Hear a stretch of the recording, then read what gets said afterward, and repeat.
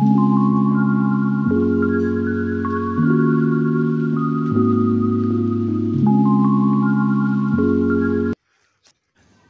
दोस्तों दोस्तों, आप खुद देख सकते हैं, पौधा अभी एक से डेढ़ महीने का ही हुआ है और इतने छोटे पौधे में इतने सारे ब्रांचेस देख सकते हैं, इनकी जड़ों को आप देख सकते हैं, लगभग एक पौधे से 10 से 15 ब्रांचेस निकल कर आ रहे हैं। कुछ इसी तरह से यदि आप भी अपने बैगन के पौधे का ग्रोथ करना चाहते हैं तो इस वीडियो को आप अंत तक ज़रूर देखिए। आज हम आपको एक ऐसा खाद या फर्टिलाइज़र जैविक खाद बताएँगे, जिसको डालने के बाद दोस्तों आपका भी ब्रांच, जो बैगन के पौधे हैं, वो इन्हीं तरीके से अन, बहुत सारे ब्रांचेस देने शुरू कर देंगे। बात करें दोस्तों तो ये सिर्फ़ एक ही पौधा है और नर्सरी से लगाए हुए इसे हमें एक से डेढ़ ही महीना हुआ है, ज़्यादा समय नहीं हुआ है। समय समय पर दोस्तों, हम इनकी नुंदाई गोड़ाई करते रहते हैं और अभी आप इसका रिज़ल्ट देख ही सकते हैं। इनमें फूलने के लिए जो फूल होते हैं वो भी आ रहे हैं। साथ में देख सकते हैं हमारे पास दो पौधे अभी दिखाई दे रहे हैं। सभी पौधे दोस्तों इन्हीं तरीके से ग्रोथ ले रहा है। तो चलिए दोस्तों आपको बताते हैं इसका केयर टिप्स के विषय में। तो देख सकते हैं पौधा एक है, लेकिन इनके इतने ज़्यादा ब्रांचेस निकल रहे हैं तो पौधा आगे चलकर दोस्तों सात से आठ पौधे में बदल बदलने वाले हैं। और यह जो पौधा है, हम आपको कवर करके दिखाते रहेंगे किस तरह से इनमें चेंजेस आ रहे हैं। तो देख सकते हैं अभी का जो रिज़ल्ट है, कुछ इस तरह कैसे है।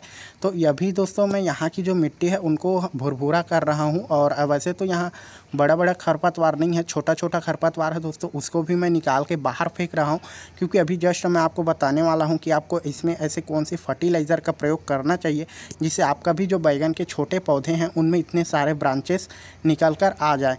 तो दोस्तों, हमने आपको पहले के भी वीडियो में ये जानकारियाँ शेयर किया है तो आज हम थोड़ा सा हटके एक नया फर्टिलाइज़र एक नई खाद के विषय में आपको जानकारी देते हैं, जिसको डालने के बाद दोस्तों आप निश्चिंत हो जाएँगे कि आपका भी जो बैगन का पौधा है, बहुत सारे फल देने शुरू कर देंगे। तो यहाँ पर दोस्तों हमने दो फर्टिलाइज़र लिया है। आप यहाँ पर देख सकते हैं जो भूरे रंग की है, ये दोस्तों सी फ़ीड है, जो कि समुद्र के तलों के घासों से बनाया जाता है। साथ में ये डाई अमोनियम फास्फोट है, जो कि सफ़ेद रंग का दिखाई दे रहा है।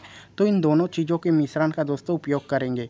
हमें दोस्तों इतना ज़्यादा इनका प्रयोग नहीं करना है, सिर्फ़ सिर्फ़ हमें दस से पंद्रह ही दाने लेना है, चूँकि ये एक पौधे के लिए पर्याप्त होता है। तो पंद्रह से दस से पंद्रह दाने आपको एक पौधे के लिए दोनों में के ले लेना है, अर्थात आपको तीस से चालीस ही लेना है दोस्तों। ये जो आप देख रहे हैं ये जो आ, सी फ़ीड है वो जो दाने हैं दोस्तों वो आकार में थोड़ा बड़ा होता है और ये एकदम नेचुरल चीज़ होता है। सी फ़ीड जैविक खाद होता है इसे किसी भी प्रकार के रसायन से नहीं बनाया जाता। साथ में डाई अमोनियम फास्फेट आप देख सकते हैं दोनों को एक निश्चित निश्चित मात्रा में दोनों को साथ में ले लेना है और मिक्सअप करके दोस्तों इन दानों का देख सकते हैं मिश्रण करके। आपको जो जड़ है, बैगन की जड़ है, उनके किनारे किनारे एक एक दाने इस तरीके से गिरा देना है। डायरेक्ट जड़ में आपको प्रयोग नहीं करना है। उसके अगल बगल दोस्तों मिट्टी को भुरभुरा करने के बाद डाल दीजिए। उसके बाद आप चाहें तो इनमें पानी का प्रयोग अवश्य करिए। चूँकि यदि ज़मीन सूखी है दोस्तों तो पानी अवश्य डालिए। यदि ज़मीन गीली है तो पानी की आवश्यकता नहीं होती है। वो धीरे धीरे रिस्क के दोस्तों उनकी जड़ों में जाते रहता है। यदि पानी नहीं है तो दोस्तों आप एक से डेढ़ लीटर ऊपर से पानी अवश्य दीजिए, ताकि जो हमारा फर्टिलाइज़र हमने दिया है, जो सी फ़ीड दिया है, वो अच्छी तरीके से मिट्टी में घुल के, जो बैगन के पौधे हैं, उनकी जड़ तक पहुँच जाए। तो दोस्तों, जो हमने फर्टिलाइज़र डाला है, उससे हमारा जो बैगन के पौधे हैं, उनमें बहुत सारे अनेक नए नए ब्रांच आने लग जाएँगे। कुछ इसी तरीके से इनकी पत्तियाँ भी दोस्तों बहुत गहरी हरी हो जाएगी और इनमें भोजन बनने की जो प्रक्रिया है, वो दोस्तों इन्हीं फर्टिलाइज़र से जो बैगन है, वो अब अपना भोजन बनाकर अपना वृद्धि करते रहेगा। तो ये था दोस्तों एक छोटी सी इन्फॉर्मेशन आपको कैसी लगी है कमेंट करके ज़रूर बताइएगा। चैनल पर नहीं तो सब्सक्राइब ज़रूर करिए। तो मिलते हैं दोस्तों किसी और नए वीडियो में नई जानकारी के साथ। आपके कोई भी सवाल क्योरी हो, आप हमें कमेंट करके ज़रूर पूछिए। और चैनल पे नहीं तो सब्सक्राइब करके बेल आइकन को हिट ज़रूर करिए। आपको हमारे चैनल के माध्यम से इसी तरह के वीडियो मिलते रहे।